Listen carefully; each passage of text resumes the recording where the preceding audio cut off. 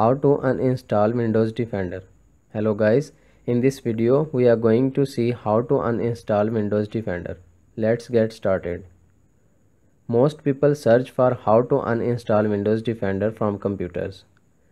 Is it possible to uninstall Windows Defender from the computer? The simple answer is no. You cannot uninstall the Windows Defender from the computer, but you can disable it permanently or temporarily. Let's check out how to disable Windows Defender. First of all go to the window menu and search Windows Security. Open the Windows Security app. Click over Virus and Threat Protection. Scroll down in the Virus and Threat Protection settings, click over Manage Settings. Here you can see real-time protection, cloud delivered protection, automatic sample submission and tamper protection.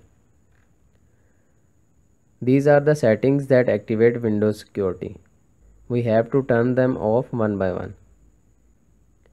If you are trying to install an application and the Windows security is not allowing you, these changes will be useful in that case.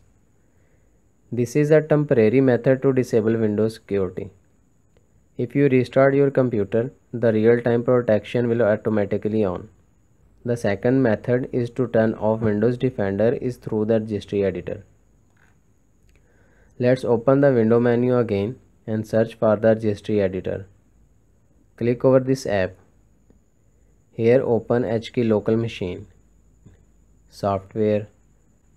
Policies. Microsoft and here is Windows Defender. On the right side, right click and create a new value named DWORD 32-bit value. Here enter disable anti-spyware. Right click over this value and then go to modify. Change value data from 0 to 1 and click over OK. This is how you can disable Windows Defender but you cannot uninstall it. I hope this video is helpful for you. For more information, please subscribe to our YouTube channel and thank you for watching.